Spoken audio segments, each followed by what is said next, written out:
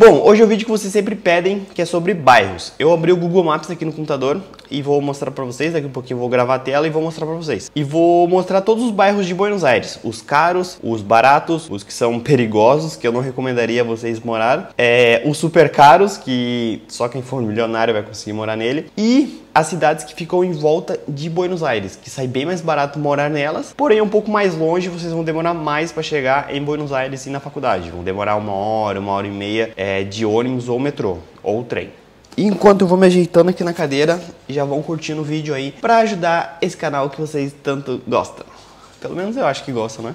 E antes da gente começar, coisas que vocês devem levar em consideração que eu sempre falo para vocês. Não é porque a gente vai ver bairros caros que todos os apartamentos lá vão ser caros e não é porque a gente vai ver bairros baratos que todos os apartamentos lá vão ser baratos. Não, é relativo. Eu sempre falo isso para vocês, é relativo. Nós, por exemplo, achamos esse apartamento que comparado com os outros, ele tava muito mais barato e é num bairro bom. Então, é relativo. Mas obviamente que nos bairros mais caros vai ter apartamentos mais caros e nos bairros mais baratos vão ter apartamentos mais baratos. Mas não é regra tá? Grava essa mensagem, grava a mensagem divina, não é regra. Beleza, bora então. Estamos com o Google Maps aqui aberto.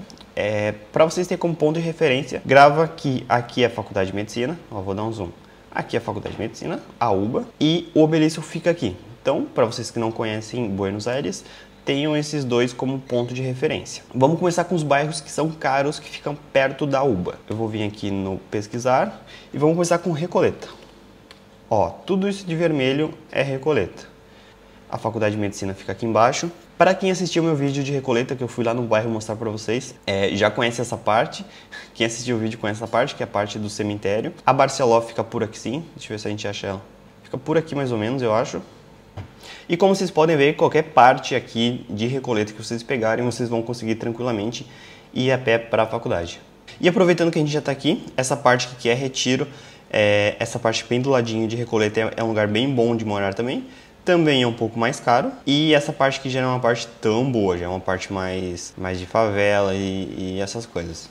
Bom, então isso aqui é Recoleta, é, Faculdade de Medicina fica aqui. Por aqui é uma região bem boa, porém vai sair um pouco mais caro que os outros bairros que a gente vai ver depois. Mas aqui sim, uma região bem boa. Qualquer lugar, ó, daqui para baixo, daqui para baixo, qualquer lugar é muito bom de, de morar. Agora vamos para o seu bairro vizinho, que é Palermo, que fica nessa região. Vou botar aqui. Ó, toda essa linha vermelha aqui é Palermo. Recoleta fica aqui do ladinho, fazendo divisa. E Faculdade de Medicina fica aqui embaixo. Palermo, sim, também qualquer lugar que vocês morarem aqui são lugares muito bons. Eu moro mais ou menos aqui embaixo. E eu acho que por isso que esse apartamento aqui, é, ele tá um pouco mais barato que os outros, porque tipo, olha no mapa. Ele tá bem na divisa com os outros com os outros bairros, tipo, para cá, é, para essa região aqui de Palermo, já vai os apartamentos costumam ser mais caros porque é como se fosse o centro de Palermo. Eu moro por aqui mais ou menos. Aí quem achar, ah, Miles, mas Palermo fica longe da faculdade. Não, não fica. Ó, a faculdade está aqui, Palermo está aqui. Por que, que eu falo que não fica? Eu vou ensinar uma coisinha para vocês. Vem aqui no menu e vem em transporte público. Ó, tá vendo que apareceu essas linhas coloridas? Então, essas linhas são as linhas de metrô. E por que, que eu falo que não fica longe? porque tem uma estação literalmente dentro da Faculdade de Medicina, que é, que é inclusive o nome da estação de metrô é Faculdade de Medicina. Então, qualquer estação que você pegar aqui nessa linha D vai te largar dentro da faculdade e dá em torno de 10, 15 minutos, dependendo do lugar que você pegar. Então, é bem perto. E como eu disse, qualquer lugar que vocês morarem aqui de Palermo também é um lugar muito bom, porém, carinho, né? Leva em consideração, é carinho.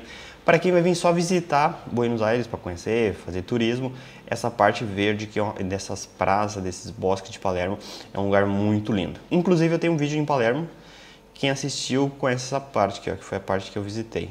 E aproveitando que a gente já está aqui, vamos falar de Belgrano, que é essa parte mais para trás, é, depois de Palermo. Ó, Belgrano também é uma parte considerado caro, entre aspas, mas é um pouco mais barato que Palermo e Recoleta. E Belgrano também, toda essa parte que, que vocês estão vendo em vermelho é, são lugares bons de morar. Porém, aí sim, aí já fica um pouco mais longe da faculdade, mas é um bairro bom também. Show! Agora a gente vai sair dos bairros caros e vamos para os bairros mais baratos que também ficam perto da faculdade. E esses eu conheço bastante porque eu morei em dois já. Vamos começar com Balvaneira. Ó, Balvaneira, tudo isso que está em vermelhinho circulado. Faculdade de Medicina aqui, Obelisco aqui para vocês terem como pontos de referência. Eu morei mais ou menos por aqui, na Rua Castelli. Aqui sim, mais ou menos. E por que esse lugar é um lugar barato? Porque aqui é uma área de comércio. Quando vocês vierem para cá, vocês vão ouvir falar no Once. Deixa eu ver se eu acho. Ó, Once. O que é o Once? O Once é uma, uma área de comércio. Então é muito movimentado, é, tem muitos carros passando, é uma área que eu não recomendo muito para estudante porque é bem barulhenta. Porém, é bem mais barato que Recoleta e Palermo que está aqui em cima. E também esse Once, ele é conhecido como uma área um pouco de que tem assaltos, que tem roubo, essas coisas. Não é uma área super perigosa como os outros bairros que eu vou mostrar, mas é, é, é mediano, não é nem ruim nem bom, é mediano. Eu nunca tive problema morando aqui. É, mas sim, já conheço gente que já, já foi assaltado ou teve alguma coisa do gênero nessa região por aqui. Como eu disse, não é super perigoso, é uma área mediana. E na região dos extremos aqui também é, é mediano morar, não é tão bom quanto Palermo e Recoleta, mas é bom e costuma ser mais barato. Saindo de Balvaneira agora, vamos para Santelmo, que é o bairro que eu estava morando até vir para cá. Aqui de Balvaneira, que eu mostrei para vocês, foi o primeiro bairro que eu morei. Aí eu saí daqui e vim para Santelmo. Santelmo é outro bairro mediano de se morar. Costuma, os apartamentos aqui costumam ser baratos e não é uma área perigosa. É, obviamente que não é Palermo nem Recoleta, é uma área mediana, mas eu nunca tive problema morando aqui. Dessa rua aqui amarelo para cima é uma área bem tranquila. Aqui para baixo já começa a ser mais ou menos. Não que seja muito perigoso, mas já é uma área mais ou menos. E por que, que eu falo que é uma área mais ou menos? Agora a gente vai para os bairros que são perigosos, que eu não recomendo vocês alugarem apartamento ali. Que são Constituição, que é essa parte aqui para baixo. Normalmente quando eu escuto que alguém foi assaltado ou algo assim, foi nessa região aqui. Não que seja uma região que você não possa ir. Sim, dá para ir tranquilo, inclusive eu descia aqui nessa estação e às vezes eu esquecia de descer ou algo assim, vinha parar na estação Constituição e sempre descia ali de boa, nunca tive um problema. Mas eu não recomendo vocês alugarem apartamento aqui. É aqui Constituição e também La Boca aqui embaixo, que é perto do estádio do Boca Juniors. É, não são áreas muito boas de se morar. Agora vamos sair dos bairros de Buenos Aires e vamos para as cidades que são em voltas, que são bem mais barato que morar dentro de Buenos Aires. Porém, você vai levar um, um tempo maior para chegar na faculdade, dentre uma hora, uma hora e meia. Mas são lugares mais baratos. Para vocês terem noção, até onde pega as linhas de metrô, eu considero que são que sejam lugares pertos, entre aspas, porque qualquer região daqui você vai demorar no máximo 40, 50 minutos de ônibus ou de metrô até chegar na faculdade. Aí abrindo o mapa aqui, tem essa região. Na verdade, eu não conheço muito para cá, mas não costuma ser muito barato porque aqui Aqui é mais bairro, é, bairro, cidade de rico. É mais, vai ser mais barato que dentro de Buenos Aires, mas não é tão barato assim.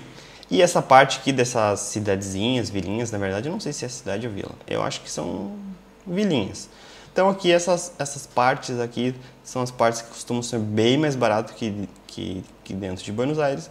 Porém, como eu disse, vocês vão levar mais tempo para chegar na faculdade e talvez gaste mais com transporte público, já que vai ter que pegar dois. É, não vai ter um ônibus que sai daqui e passe na frente da faculdade, por exemplo. Não, vocês vão ter que, que descer por aqui mais ou menos, pegar outro ônibus para chegar até a faculdade. E ah, eu já esquecendo, faltou o, o, bairro hiper mega super caro que só se vocês forem milionários de para morar nesse lugar. Que vocês já devem saber que é Puerto Madeiro. Ó, Puerto Madeiro fica aqui.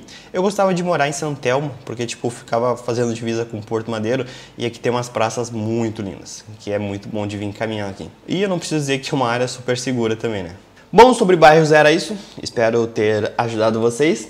Lembrando que temos meta no canal. Quem não assistiu o último vídeo, é, se todos os vídeos da semana bater mil likes, eu vou fazer vídeos sobre medicina na Argentina todos os dias até o começo das minhas aulas. Então, quem quiser ver muito sobre esse conteúdo, sobre medicina na Argentina, sobre Buenos Aires, curte os vídeos que eu vou ver que vocês estão gostando e isso vai ser um incentivo para mim fazer vídeos todos os dias sobre esse assunto. Então, se todos os vídeos tiverem mil likes, eu faço vídeos todos os dias sobre esse conteúdo. Show?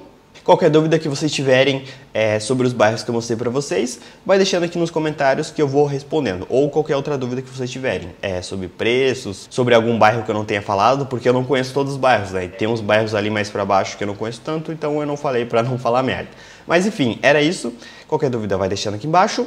E quem precisa de assessoria, eu sempre deixo um link da assessoria que eu recomendo aqui embaixo na descrição do vídeo. Eu sempre esqueço o nome de descrição.